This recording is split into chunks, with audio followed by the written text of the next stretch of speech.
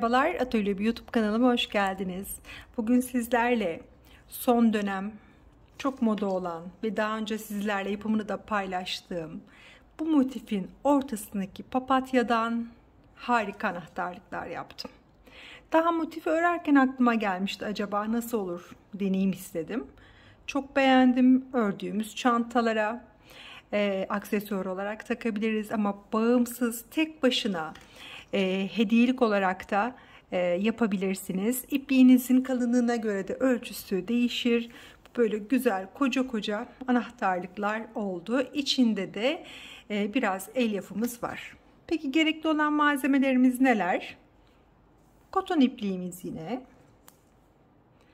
2,5 milimlik tığımız. Bir e, yün iğnemiz ve bir miktarda böyle boncuk elyafımız var. Ee, içini doldurmak için. Sonrasında da hazır aparatlar satılmakta anahtarlık aparatları. Onlardan kullandım. Ben penseyle taktım ve böyle keyifli anahtarlıklarım oldu hem de çift taraflı. Şimdi lafı daha fazla uzatmadan birlikte sizinle yeni bir anahtarlığı örelim. Aslında motifin yapımını anlatırken çiçeğin yapımını da detaylı biçimde anlattım. Ama aramızda yeni katılanlar olabilir. Ee, hem onlar için hem de bitirme noktasında birkaç püf noktası var. Ee, onları paylaşmak adına baştan başlayacağız. Orta kısmında sarı renk kullanıyorum ben ve bir sihirli halka yaparak başlıyorum. 3 tane zincir yaptım. Bu zincirim benim aynı zamanda birinci trabzanım yerine geçecek. Bir, iki, biraz kapatalım. Bu halkamızın içine toplam 16 tane ikili trabzan yapacağız. 3, 4, 5, 6, 7, 8 biraz daha kapatıyorum.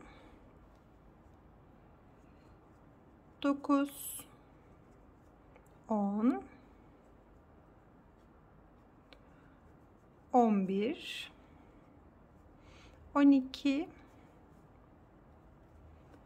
13 14 15 ve 16 sonrasında ipliğimi güzelce sıkarak ortadaki boşluğumu sıfırladım ve de renk değiştireceğimiz için başlangıç zincirinin tepesine batarak kaydırmayla bağlayıp sağlamlamak adına bir de zincir yapıyorum ve çiçeğimizin orta kısmını tamamlamış oluyoruz.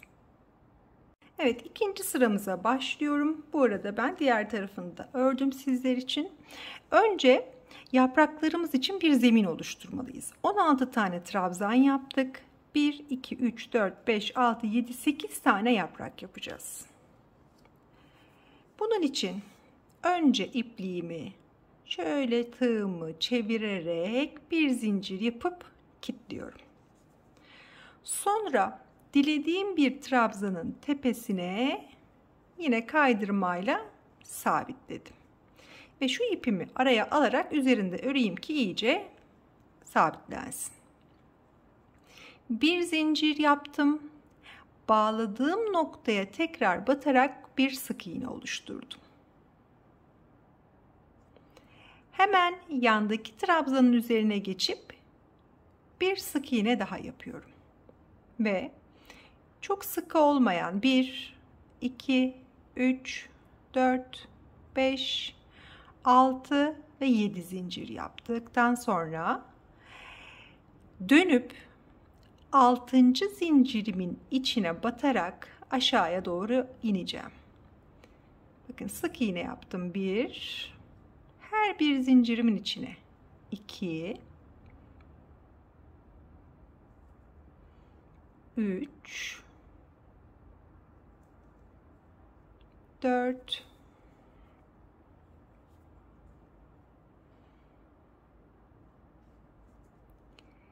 5 5 ve son zincirimin içinde de çalışarak 6 tane sık iğne yaptım. Sonra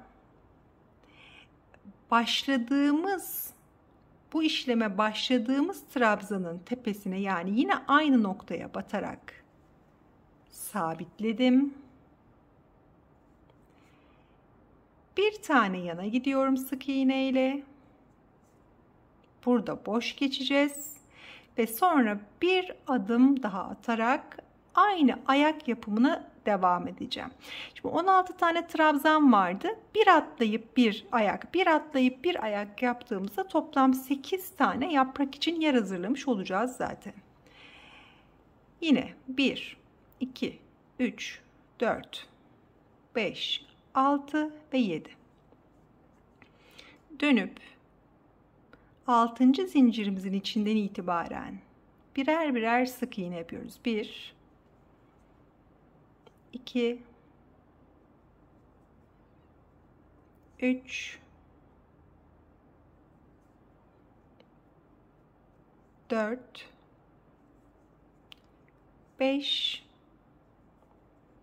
ve 6 sonra başladığımız noktaya sık iğne ile sabitledik.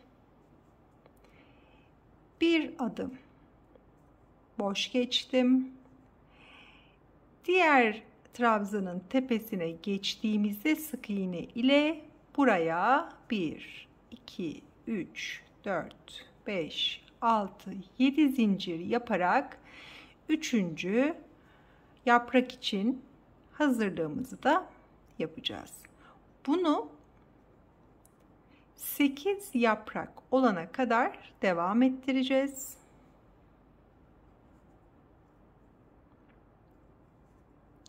Ve de sonra yaprakların içlerini dolduracağız. Bir kez daha başladığımız noktaya bir adım ilerledim sık iğne sonra bir adım daha ilerleyip işime devam ediyorum. 1 2 3 4 5 6 7 Evet bu şekilde sıramızın sonuna kadar yapıp geliyorum. 8. yaprağımız için hazırlığımızı da yapıp dip kısma indik. Şimdi başlarken bir tane e, sık iğne yaparak başlamıştık. İşte bu aradaki boş geçtiğimiz yer. Dolayısıyla bu noktadan başlangıç sık iğnesinin tepesine kaydırmayla bağladım. 8 tane yaprağımız 2, 4, 6, 8 örülmeye hazır. Şimdi yapraklarımda hem sık iğne hem tekli trabzan hem ikili trabzan kullanacağım. Kademeli olarak arttırıp kademeli olarak azaltarak bu yuvarlak dokuyu oluşturacağız. Şimdi bu noktadayım arada. 6 tane zincir yaptığımız yer vardı. O zincirlerin arka kısmındaki diş diş yerleri görebilirsiniz. Bunlardan ilkine hiç arada zincir olmaksızın sık iğne yaparak başlıyorum.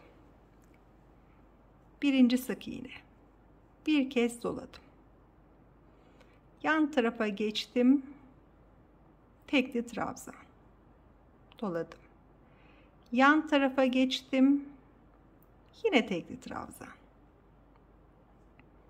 Bir kez doladım. Yan tarafa geçtim. Şimdi ikili trabzan. Uca doğru geliyorum. İki tane yerim kaldı. Rahat dönebilmek için burada fazla arttırarak trabzan yapacağız. Yani buradaki yerin içine aynı yere iki tane ikili trabzan. Son zincirimizin arkası kaldı. Bu noktaya ise aynı yere 3 tane ikili trabzan. 1 2 ve 3. Bakın zaten orta kısma kadar çıktık. Nasıl geldiysek o şekilde aşağıya doğru ineceğiz. Şimdi de sık iğnelerimizin tepesi var. bunların tepelerinde çalışacağız. Önce aynı noktaya 3 tane ikili trabzan. 1 2 ve 3 döndük. Aşağıya doğru bir adım sonra bu sefer buraya iki tane ikili trabzan aynı noktaya. Sonra birer birer ilerleyeceğiz ve aşağıya doğru e, küçülterek gideceğiz. Önce bir tane ikili trabzan. Sonra tekli trabzan.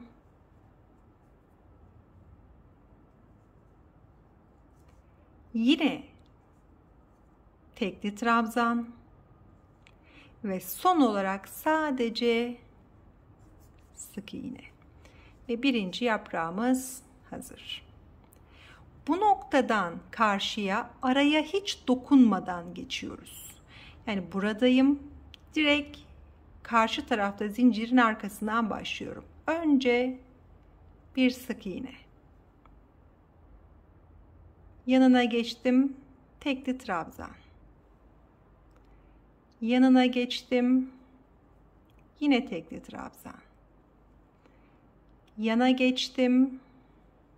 ikili trabzan yükselttim.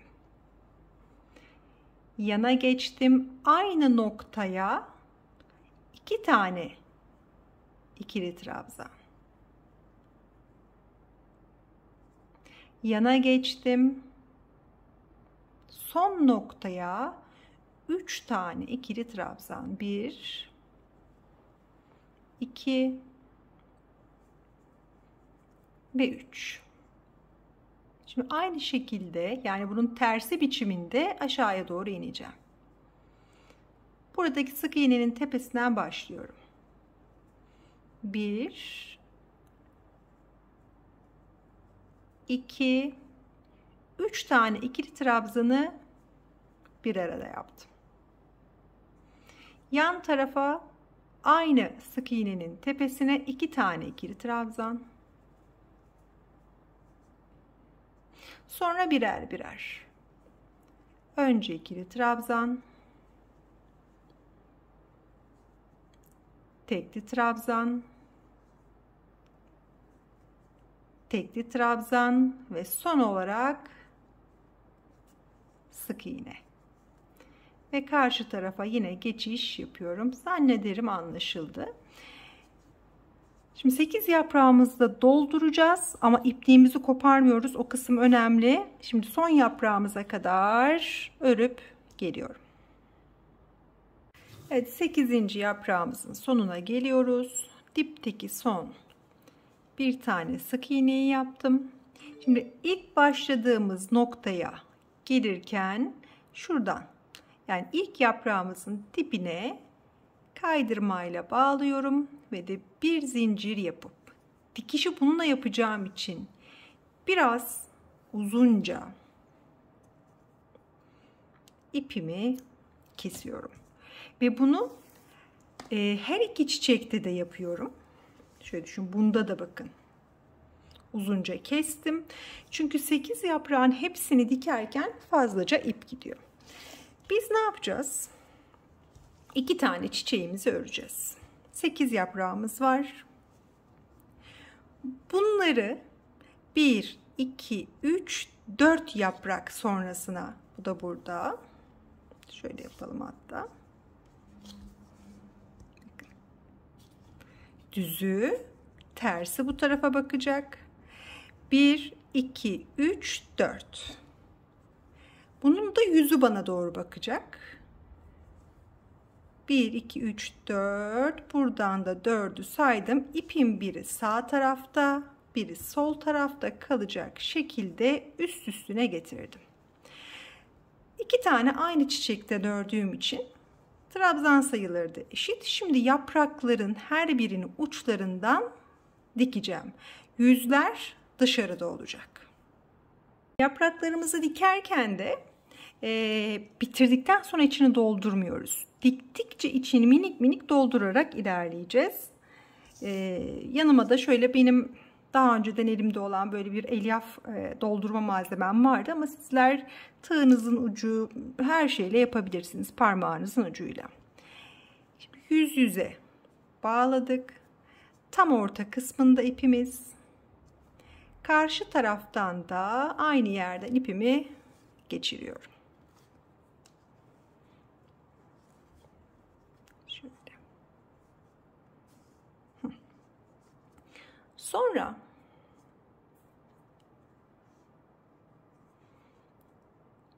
Şimdi şu iki ilmeği birden alıyorum. Karşıdan da aynı yere alıp üzerinden dikeceğim. Bir buradan, bir karşıdan. Çok basit bir sistemle dikiyorum aslında. Bir buradan, bir buradan. Şimdi bunu tığla yapmak istedim. Hiç ipliği koparmadan birleştireyim ama böyle güzel olmadı. Biraz kalınlık yaptı. Özellikle iki yaprak arasındaki kısımlarda. En güzeli dikmek oldu. Şöyle bakın. Karşılıklı getirerek birer adım birer adımla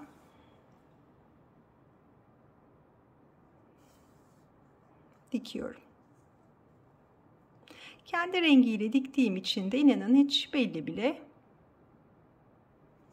olmayacak. Önce yarısına kadar yani bu iplik bitene kadar dikeceğim. Dört yaprağımı dolduracağım. Sonra birer birer ilerleyeceğiz. Şöyle aralarını açı açı gidelim ki daha rahat görülsün.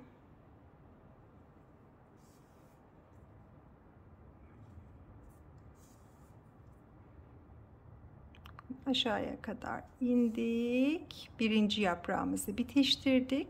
Sonra buradan ikinci yaprağımıza geçerek önce orta kısım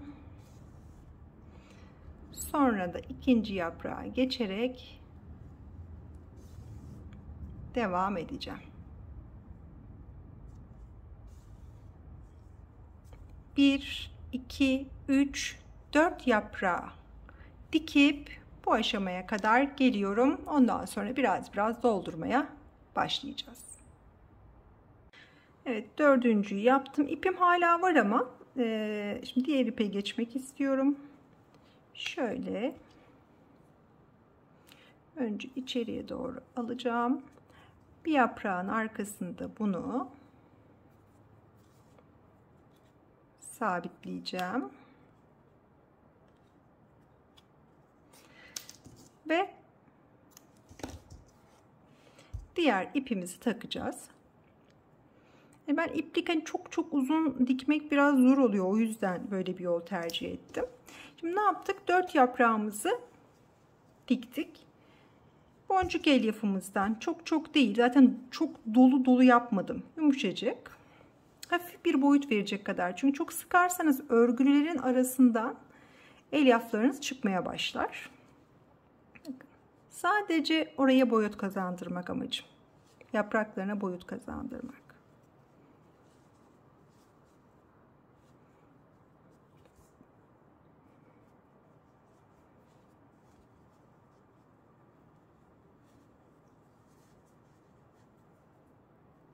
Minik dokunuşlarla içeriye doğru itiyorum.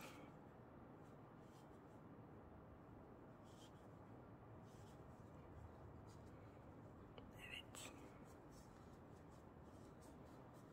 Sonra da şu noktadayız dikime devam ediyorum.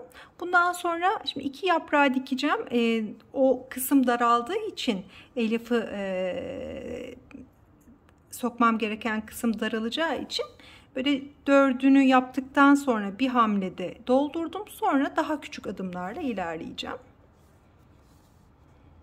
Yani şu ikisini de dikip geleyim tekrar dolduralım. Sonra kalan ları birer birer artık dolduracağız. Bakın ortaya da çıkmaya başladı anahtarlığımız. İki yaprağımızı daha diktik. şu aradan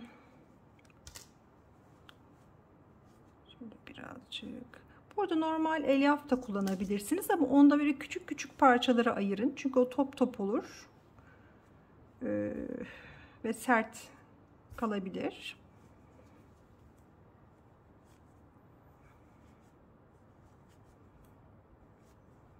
şurayı da aldık biraz orta boşluğa da dolduruyoruz tabii ki şuraya. Şimdi artık birer birer gideceğiz. Önce bir yaprağımızı dikip dolduracağız. Sonra da en son yaprağımızı ve sonrasında da bitecek.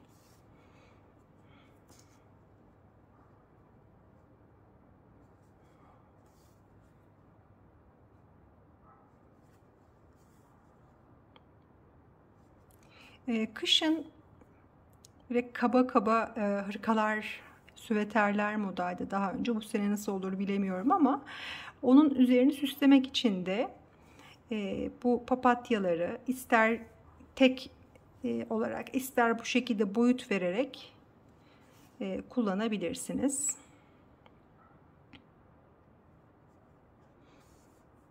Şöyle indik. Son yaprağımızın olduğu noktadayız.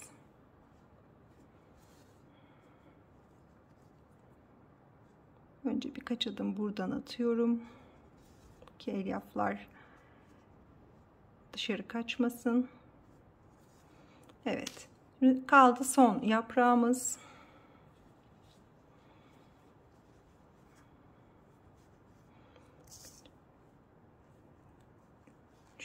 İçine de yandan. Dik.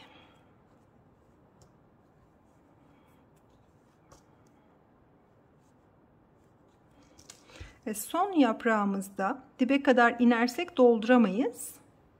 O yüzden de küçük bir açıklık bırakıp dip kısmında doldurup sonra tamamlayacağız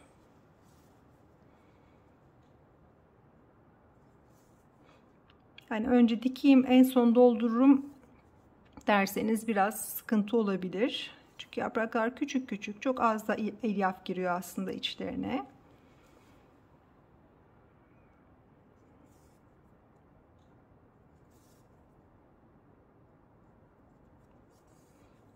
Şöyle döndük.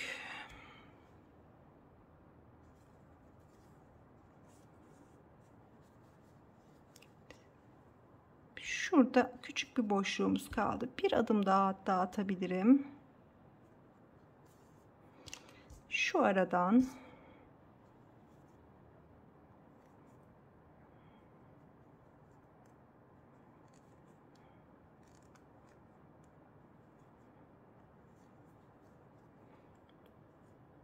orta kısma da birazcık alıp yapraklarımızı dengeleyerek içlerine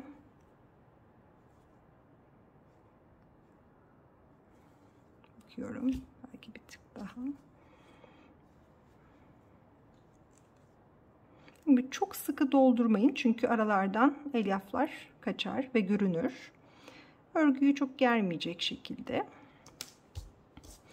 Ve artık son aşamada sıfırlıyoruz. Dikişimizi başladığımız yere kadar geldik.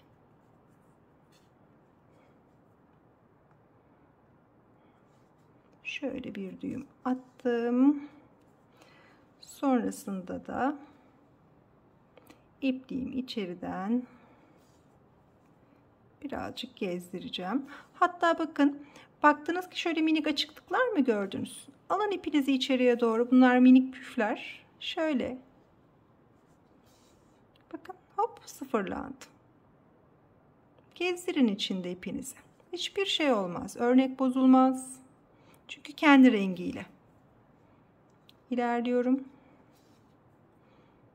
Bakın ne kadar düzgün oldu. Diğer tarafında da varsa orada da bu aynı işlemi yapabilirsiniz. Çünkü bir yapraktan diğer yaprağa geçerken biliyorsunuz bir şey yapmamıştık araya. Çünkü o zaman biraz marullanma olabilir.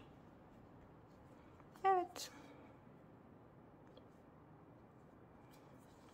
Şöyle boşlukları da kapata kapata ipimi güzelce sabitledim.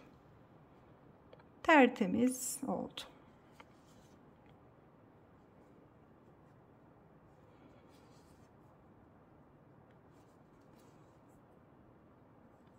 Sonrasında da ipliğimi bir yerden çıkarıp güzelce zaten sabitlediğim için kesiyorum ve çiçeğimiz hazır.